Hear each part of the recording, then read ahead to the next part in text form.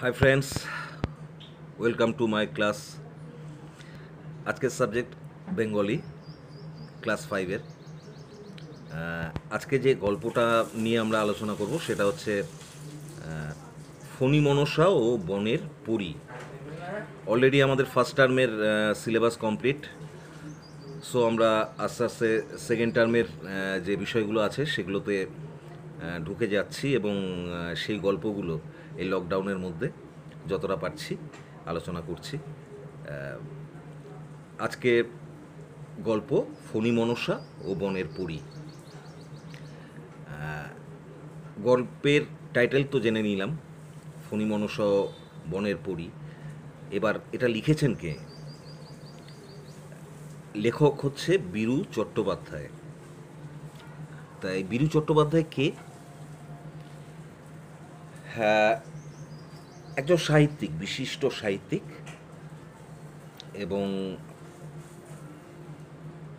বিশেষত শিশু, কিশোর এদের জন্যই বীরু চট্টোপাধ্যায় লিখে থাকেন, লিখে থাকতেন এবং ওনার জন্ম উনিশশো সতেরো খ্রিস্টাব্দে।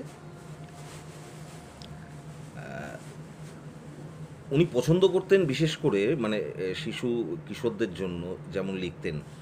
রহস্য রোমাঞ্চ কাহিনীও ওনার পছন্দের বিষয় ছিল।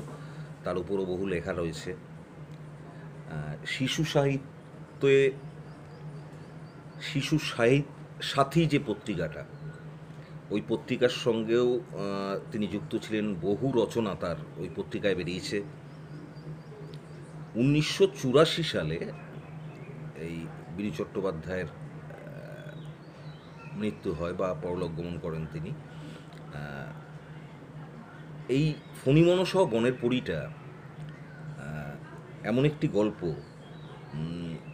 যে গল্পটা বিষয় যেটা, সেটা কিন্তু প্রায় আমাদের সকলেরই ভিতরে এরম একটা ভাবনা আমরা পোষণ করি মানে যেটা আমরা পাই, সেটা অনেক সময় আমরা চাই না। যেটা চাই, সেটা পেয়ে ওঠা হয় না। এই চাওয়া পাওয়ার থেকে একটা অসন্তোষ ভিতরে তৈরি হয় এবং আমরা দিনের শেষে যা আছি, যা পেলাম, সেটা নিয়ে কোনোভাবে সন্তুষ্ট থাকতে পারি না। একটা মনোযন্ত্রণা, মনোকষ্ট নিয়ে আমরা প্রত্যেকেই চলি। মনে হয় যেন নদীর এপারের থেকে ওপারটা বেশ, বেশি ভালো। এটা সবারই মনে হয় কম বেশি। তাই এরম একটা ধারণার থেকেই এই গল্পটা জন্ম এবং উনি তিনি লিখেছিলেন। এই যে গল্পটা, এটা শিশু সাথী যে পত্রিকাটা ছিল, তার তেতাল্লিশতম যে সংখ্যা সেই সংখ্যার থেকে নেওয়া ফণি মনসা বনের পরী, একটা ছোট গল্প হিসাবে এটা নেওয়া। তা গল্পটার কথা তোমাদের বলি যে প্রত্যেকেই গল্পটা খুব ভালো করে পড়বে। কারণ গল্পগুলো ভালো করে না পড়লে গল্পগুলোকে ভালোভাবে না দেখলে, কারণ ওই একবার রিডিং পড়লাম, পড়া হয়ে গেল, এটা করো না। কারণ বারবারই আমি বলি যে প্রত্যেককে অ্যাটলিস্ট যে কোনো গল্প বা কবিতা অ্যাটলিস্ট তিনবার পড়তে। প্রথমবারটা দেখা হয় শব্দগুলোর সঙ্গে পরিচয় হয়, লাইনগুলোর সঙ্গে পরিচয় হয়। দ্বিতীয়টা হয় কি কিছুটা বোঝা যায় যে গল্পটার মধ্যে কি আছে, সাপ ব্যাং গল্পটা খায় না, মাথায় দেয় এই এই বিষয়গুলো।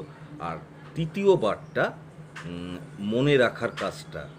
মানে আমরা যে চোখ দিয়ে দেখছি যে লাইনগুলো, সেই লাইনগুলো মগজের মধ্যে আস্তে আস্তে আস্তে আস্তে করে টাইপ করতে, হতে থাকে। সুতরাং অ্যাটলিস্ট তিনবার পড়াটা উচিত। তা গল্পটা তোমরা অবশ্যই ভালো করে দু তিনবার পড়বে তিনবার পড়বে। আমি এখানে যেটা করব, গল্পটার একটা সংক্ষিপ্ত রূপ তোমাদের সঙ্গে আলোচনা করছি, গল্পটা বোঝার জন্য। গভীর বনে একটা ফণি মনসা গাছের মনে প্রচণ্ড মনোকষ্ট নিয়ে সে ছিল, মনোকষ্টে ছিল সে। কারণ ফণি মনসার গাছে যেটা হয়, পাতাগুলো কেমন ছুচলো, কাটাওয়ালা এই নিজের রূপটা নিয়ে সে একেবারেই শান্তিতে ছিল না এবং তার নিজের রূপ নিয়ে সে সন্তুষ্টও ছিল না। সে মনের দুঃখে একদিন বনের পরীর কাছে কাঁদতে কাঁদতে প্রার্থনা করল যে বনের পরি, আমার এই রূপ আমার পছন্দ হচ্ছে না, আমার পাতাগুলো সোনার করে দাও না। তাহলে সবাই আমার পাতাগুলো দেখে মানে যেটা হয় চমকে যাবে, তারা কেউ কেউ ঈর্ষান্বিত হবে, কেউ কেউ মানে অবাক হবে, বিস্মিত হবে। হুম, তুমি আমার পাতাটা সোনার করে দাও। পড়ি তো শুনল তার প্রার্থনা এবং তার কান্নায় পড়ি কিছুটা হলেও তার মনে হলো যে যখন চাচ্ছে, ঠিক আছে, ওকে বর দিয়েই দিই সে তথাস্তু বলে তার পাতাগুলো সোনার করে দিল। এবার ফণি মনসার মনে আর দুঃখ থাকার কথা না, তার পাতাগুলো সোনার হয়ে গেছে। কিন্তু ভবিতব্যকে আটকায়? যেই পাতাগুলো সোনার হয়ে গেল, তখনই ওই বনের মধ্যে দিয়ে একদল ডাকাত যাচ্ছিল। এবং তারা দেখল যে একটা গাছের পাতা সোনা দিয়ে বাঁধানো। মানে পুরোটাই সোনার পাতা, সবকটি পাতা। ফণি মনসা গাছ বলে তাকে চেনাই যাচ্ছে না।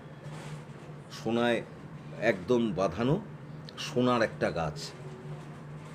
এবার যেটা হয়, ফণি মনসার পাতাগুলো সোনার হয়ে যাওয়াতে ডাকাত দল সেগুলো লুট করে নিয়ে ছিঁড়ে নিয়ে চলে গেল। এরপর ফণি ফণি মনসা আবার কান্নায় ভেঙে পড়ল। যে আমার সোনার পাতা এত সুন্দর, সেগুলো নিয়ে লুট করে চলে গেছে। বনের পরি, তুমি আমার পাতাগুলো এমন করে দাও, যেটা কাছের মতো স্বচ্ছ হবে। তুমি আমার পাতাগুলো কাছের করে দাও না। ফণিমনসার কথা শুনে এবারও বনের পরি তার উপর করুণা হলো এবং তিনি বললেন, ঠিক আছে। তোর পাতাগুলো কাছের মতনই স্বচ্ছ, সুন্দর করে দেব। সেই কাচের পাতা রোদের আলো পড়ে, চিকচিক করে, ঝিকমিক করে। ফণি মনসারও মনে খুব আনন্দ।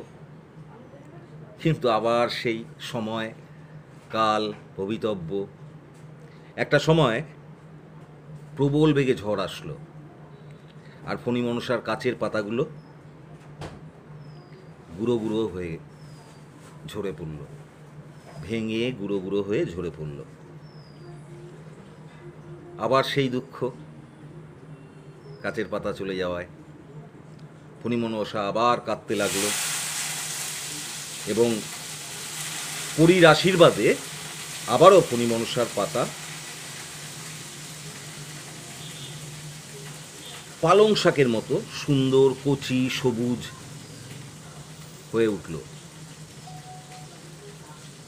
তো এবার ফণিমনসার আর দুঃখ থাকার কথা না, কারণ এত সুন্দর সবুজ কচি পাতা পালং শাকের মতন সুন্দর করে ফুটলো। তখন একটা অদ্ভুত সমস্যা দেখা দিল। কি হলো? এত সুন্দর কচি সবুজ পালং শাকের মতো পাতা দেখে একটি ছাগল সে রাস্তা দিয়েই যাচ্ছিল। সে আর লোভ সামলাতে না পেরে সেই সবুজ সুন্দর পাতাগুলোকে কচর মচর করে চিবিয়ে খেয়ে ফেলল। উনি মনসা আবার কান্নায় ভেঙে পড়ল যে কি হলো এটা? আমার এই কচি সবুজ সুন্দর পাতা সেটাও ছাগলে খেয়ে ফেলল। কান্না শুনে বনের পরি আবার তার মনের আশা মেটাতে আসে। ফণি মনসা জানায় যে তার খুব শিক্ষা হয়ে গেছে। তাকে যেন সেই আগের কাটা ভরা ছুচলো পাতা যেটা পূর্বের রূপ ছিল, সেই রূপেই ফিরিয়ে দেওয়া হয়। এবার পরি জানায় তার সুবুদ্ধি এসছে, সুবুদ্ধি হয়েছে। সঙ্গে সঙ্গে বনের পরি মনসার গায়ে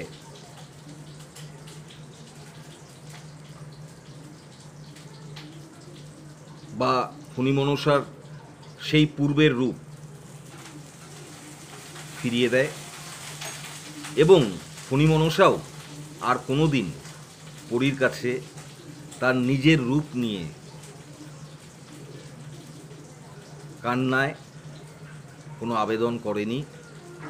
যে রূপ তার ছিল, সেই রূপ নিয়েই সেই সন্তুষ্ট ছিল। তো এই যে গল্পটা গল্পটা পড়ে আমরা কি বুঝছি? যে, এই যে নামকরণটা, ফণি মনসা আর বনের পরী, এই নামটা কি তোমার মনে হয় ঠিক আছে? ঠিক আছে? কারণ আমরা কি জানি, নামকরণটা কিসের উপর হয়? নয় চরিত্রের কোনো চরিত্রের উপর নির্ভর করে, কোনো ঘটনার উপর নির্ভর করে কোনো বিষয়ের, যে বিষয়টা মেন বিষয়, সেটার উপর নির্ভর করে। তাই ফণি মনসার বনের পরী নাটকটি বা গল্পটিতে ফণি মনসার দুঃখ ঘোচানোর জন্য তো বনের পরীর আগমন হয়েছিল।